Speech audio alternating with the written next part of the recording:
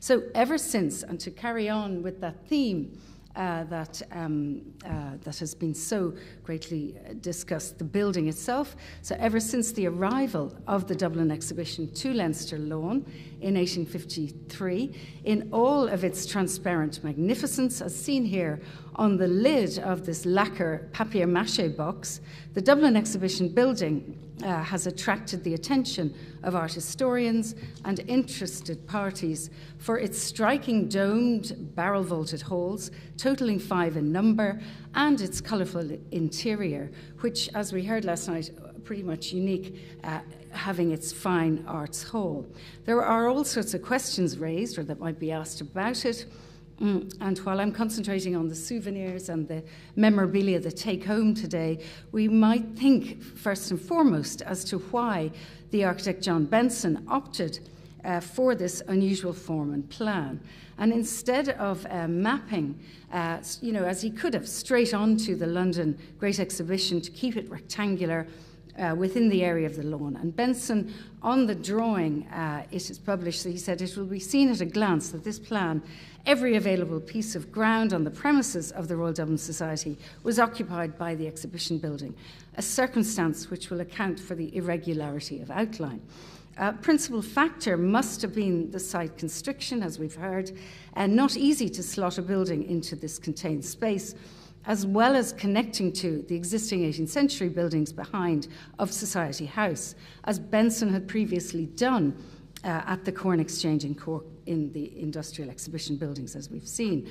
Uh, the experience of change of tempo, therefore, to the visitor through, you know, ushered through the halls the era of modernity of steam and steel towards the 18th century Society House perhaps a one way system in place from the west side of Merrion Square, exiting onto Dawson Street. And the front entrance, uh, sorry, here, uh, which we've also seen, uh, indeed, um, that uh, was the west side of Merrion Square, but this was the image that endured.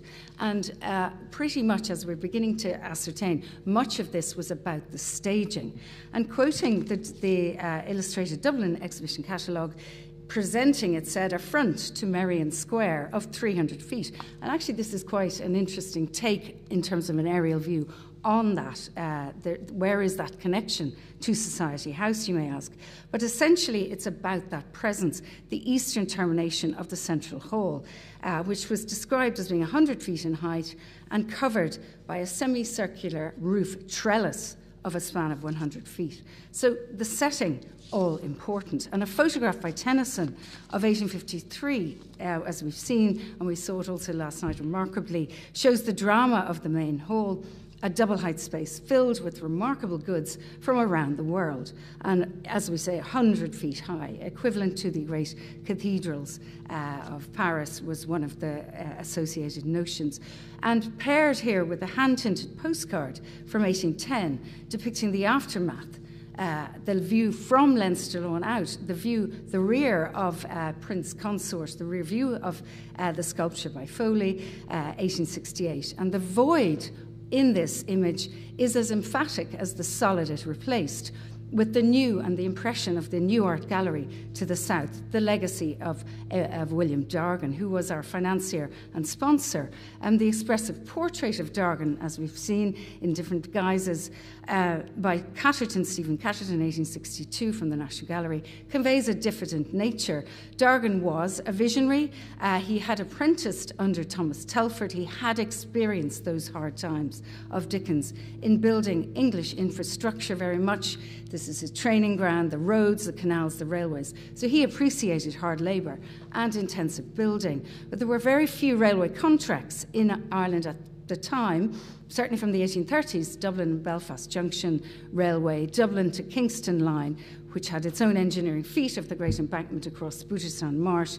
But he guaranteed, as we've heard, underwrote the exhibition at his own expense, noted in the RDS minutes. So, this affirmation of national self confidence in that period of post famine growth. The exhibition hall was conjured up in various images, and the opening, uh, as we've seen, dedicated on this side to Dargan. But it's that repetition of these se- several published images in lithograph form or in painted image of this entrance and front facade from close quarters, suggesting very close coordination by the society organisers. Uh, and that committee, we've heard the various notables, Knight of Kerry, for example, Lord Plunket, all present in terms of that great celebratory opening day uh, and the London exhibition, similarly led by the Prince Consort and the team. So, celebration at the heart of this idea. And um, the Dublin exhibition, then, uh, as with, Dub- with London, has its memorial role from its inception and its reception. And the notion of taking that away uh, in terms of the box such as this to encapsulate modernity of empire, um, a positive veneer of this temple of both art and industry, sharing character representation from London uh, uh, and from the, uh, you know, also setting both and drawing on this new industrial age, if you like, rising uh, and improving of industrial standards, bringing novel designs such as this object, state of the art technologies and material, and taste being articulated from London, manufactured in this case from Birmingham uh, which was the great manufacturing centre, bringing mechanisation, new materials such as, uh, in this case, papier-mâché, uh, made into this new formula, form, format to Dublin. And here, advertising uh, the image constant present, in this case, uh, advertising the sale of pianofortes, which could be bespoke, uh, brought, bought on demand. So there are certain differences uh, alluded to, as we heard in last night's talk, within Dublin, the main hall had the armorial bearings, the captains of industry, ecclesiastics, educational academies, but most importantly was the reference to cities of empire, the nation consuls in Dublin, those celebrated from Japan to Belgium to Malta, um, and that connected nationhood as a symbolism, symbolism, equally noted, and we've heard about the great expositor, uh, which you know published weekly on site, made note of this. The interior colour coded, as we've also heard in terms of Owen Jones, but that armorial connection to countries recognising the capabilities of Ireland. David Dickson, as we know, has argued also closely for the significance of Dublin Corporation in connection with the Dublin Society carefully planning the situation of the event and its aftermath. So that clear anxiety to distinguish itself in terms of Dublin. Yet the exhibition hall was the container for this, uh, this vessel, for this, this box, the memorabilia, it's a japanned lacquer speciality box made by makers Jennens and Betteridge from 1853. It has the image, as we've heard or, or note, of the Dublin exhibition on its lid. It's a reverse glass technique. In fact, close up detail, you can see that they slightly missed. The number three is actually reversed when you look up close. We can see it in the exhibition. Um, but an overt impression of grandeur and monumentality, but linked also to um, the great presence of that London exhibition. Uh, 1851 is on this side. So this is the Jennens and Betteridge, uh, a similar take on this, uh, and obviously the first impression uh, of a reverse glass image set into a letter folder. Uh, and indeed, uh, for the project itself, uh, over 6 million visitors, we heard, visited mm, uh, greatest imperial project of mid-19th century. And Olivia Horsfall Turner has reminded us in her recent book that Owen Jones, uh, about Owen Jones and the V&A, that this was almost a third of the national population visiting uh, which was 27 million. So they had, as we, you know, were establishing this extraordinary presence, this novelty, and the landscaping essential in both of these draw- drawings, these captured illustrations, uh, this staging, the ecological solution in terms of Joseph Paxton. He incorporates a great elm tree inside the Crystal Palace. Uh, Benson uses the surrounding lawn, which is also captured in this image. So the, the defiance of traditional architecture, the great feat of mid 19th century engineering represented, not quite stylized yet, uh, or capturing the, the, where its direction is, as um, Andrew has pointed to, uh, perhaps something or, uh, Turkish Oriental, those baths within that great dome, but depicted in terms of small objects and these miniatures. Other ephemera, we've noted already uh, the great uh, ticket, admini- the, the, those admission. Uh, London was five shillings, dropped to one, uh, and as Cora mentioned, the Dublin, this notion of being reusable, that was also something in advance, and no apparent social distinction The entire exhibition was open to all classes. Uh, women, uh, interestingly, in Dublin outnumbered the male visitors by two to one. So, therefore, where does that situate us in terms of the, co- the, com- the commercial opportunities, the consumer, uh, the possibility of buying the wares in the exhibition came via advertisements, displays, and sale catalogues, and of course, the great expositor. Uh, souvenir makers perfected the art of serial production to supply the great exhibitions both in London and followed uh, in Dublin. These were sources for expanding markets, and the growing middle classes in the mid 19th century in Dublin put shopping uh, for, in the forefront as a pastime.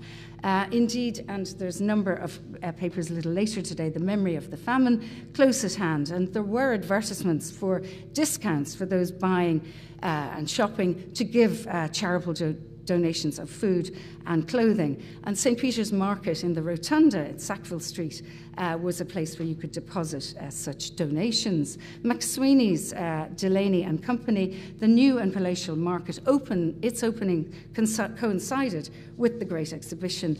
And uh, uh, Stephanie Rains, who's speaking later, has drawn attention to this notion of the monster store. Um, windows and five right across onto Sackville Street, full of objects from the exhibition uh, on its opening day.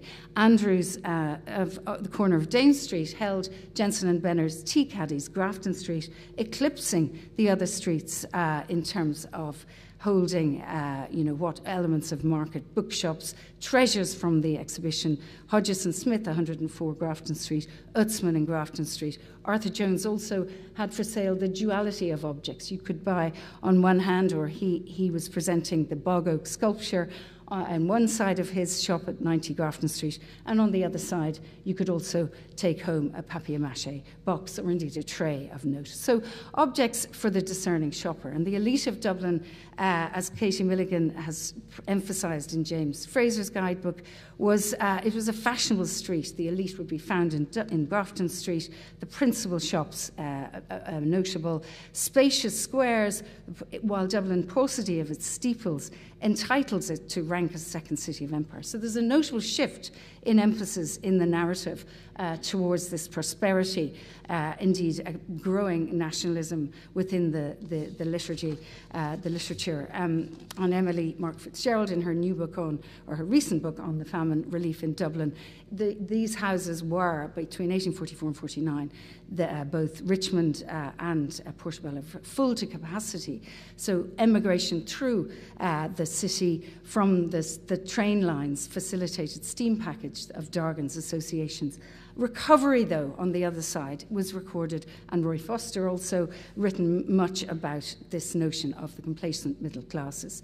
Upwardly mobile generation, so what are they buying? What are they going to do? Um, indeed, in, inside the hall, exhibition details of objects. The skilled tradesman would earn around 30 shillings a week, while a man in the professions of law and medicine could earn considerably more. So these new middle classes keen to emulate uh, London taste. And Dickens, last, of course, we should have mentioned him. Uh, he visited Dublin in 1858. He, uh, he was more happy, he said, in, in the Coombe where the rags were fluttering. Uh, he was struck by these new suburbs. But his old curiosity shop uh, which gripped Dubliners, that notion of the, uh, the ending, and uh, um, in fact, that uh, allegedly uh, Daniel O'Connell threw the copy uh, of, of hearing the tale of, in frustration, how Dickens had killed off his heroine, Nell. But essentially, wearing the Irish Treed, uh, Dickens a fan and supporter. But the old curiosity shop itself, interestingly, in terms of old world commerce, uh, gathered paper, which was recycled uh, into papier mache. So it was part of that trade. Um, essentially, then, in terms of this uh, box itself and these new objects, new methods of display, uh, new methods of manufacture. Uh, in fact, in terms of papier mache, over 120 uh, sheets of compressed paper could, uh, you know, be were used, as crushed together uh, and constrained into these different forms, with the maker's mark on the bottom noted uh, inside either a silk in terms of the uh, interior of a writing desk, a portable uh, detail, or indeed tea caddies. And these were various containers, silk lined or lined with baize. Jennens and Betteridge operated between 1850 and 1867, successfully developing industrial papier mache production, employing artists from Birmingham School of Design, London School of Design, to create these decorative yet functional uh, objects which had been japanned or lacquered. Uh, Henry Clay was the person who patented, patented these in 1811, uh, shellac and a linseed, very toxic, ultimately uh, heated to temperatures of 200 degrees or more. Other methods were bringing and the painting of the shell, the abalone or uh, mother of pearl. So quite intricate work. And this, uh, while they went in for larger uh, uh, and different kinds of, you know, different adjustments in terms of reverse glass or painting of shellac detailing, the scale of their objects, you know, were what was apparent in the exhibition. These large sofas made of papier mâché, uh, one these kind of fire screens, and indeed Aaron Jenners of Jenners and Be- Be- uh, Betteridge made a visit to Ireland in 1849, uh, recording uh, not least the, a view of the forecourts, but also these uh, the canals from uh, and the lake of, lakes of Killarney, very much part of that exhibition. Uh, these were uh, gilded fans and fire screens, prominent because of that visit from, from Queen Victoria, who had made the made her impression in that area in terms of tourism and the lakes of Killarney at the centre. So just to, uh, to conclude, essentially, on, in terms of materiality technologies, Sproule um, in the Irish Industrial Exhibitions commented that papier-mâché goods have late become considerable importance articles of utility uh, the facility of which the substance can be moulded into any required shape, and the great extent to which it admits ornamentation. But there it is, that's where the debate would rage. And in fact, the Battle of Ornament uh, was already almost lost for them. There was a great criticism uh, from the London exhibition, which tails over into Dublin, in terms of businesses making such objects of papier mache, overtaken very quickly by electrotype industry, that of cellulose, and um, indeed, uh, as we heard last night, John Crace, uh, or examples like John Crace furniture makers, worked alongside Pugin in London to present real furniture. And one of the great Brummagem words of counterfeit makes reference to uh, this notion of something that's not real. So, authenticity being championed later, as we also heard last night uh, by John Ruskin.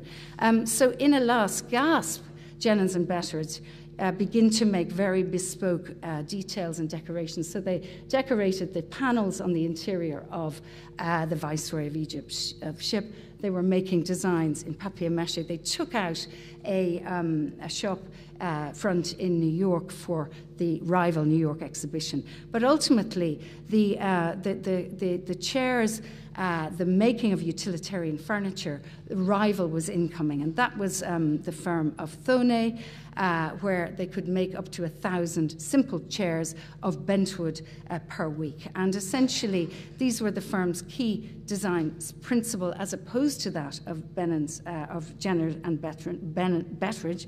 Uh, Thonet were able to, able to increase production to 10,000 chairs per year.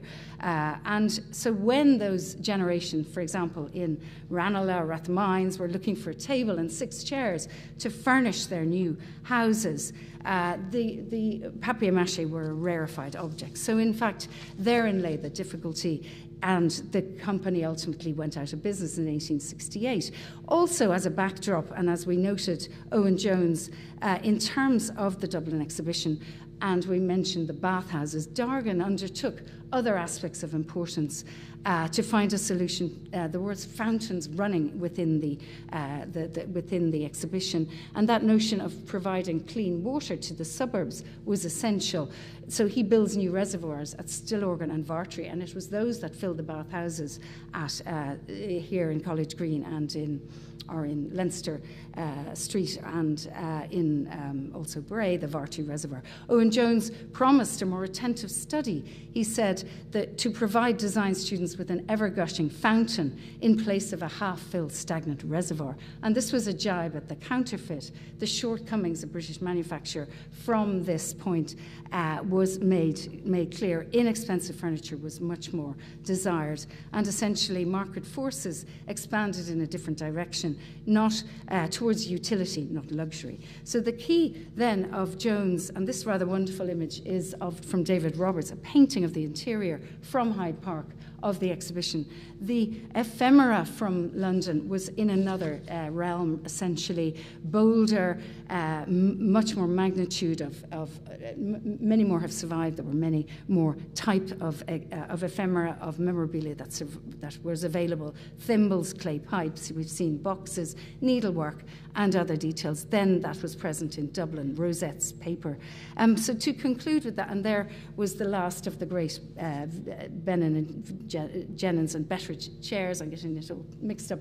And just to show you the bentwood on the side, that really overtook uh, their more bespoke luxury objects. So in terms of the last point, um, uh, the medals themselves, uh, Dargan was uh, committed to coinage uh, and commemorated by um, the, the Woodhouse, William Woodhouse family, also Birmingham, Birmingham associations. Um, and his father, too, trained in the making of metal buttons. That equally was a practice that uh, tailed off. So the coinage himself and his son went invested in, and this, uh, the obverse, you see the head right, uh, Dargan with on his neck, it says Woodhouse, and uh, also reference back to our image from the Society Lawn with some of those details. Its corresponding reference point, of course, again, linking to Crystal Palace, but also making reference to uh, its competing, its rival in uh, New York. Uh, coinage from London and New York depicted here with all of their bold details uh, laid out how many, how much, how long. And essentially, the takeaway, the immediate aftermath was, and this is the last just to say, uh, of course, those universal expositions continued.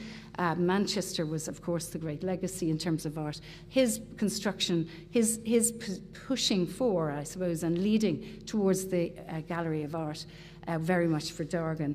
But lastly, he himself, uh, the construction of all those great leading railway lines of water source to Dublin, he declined the knighthood, uh, a modest man to the very end. But essentially, his house at Mount Anville on the brow of the hill uh, at the Deer Park, Queen Victoria came to visit. They planted a sequoia together, so there was quite a strong sense of connection.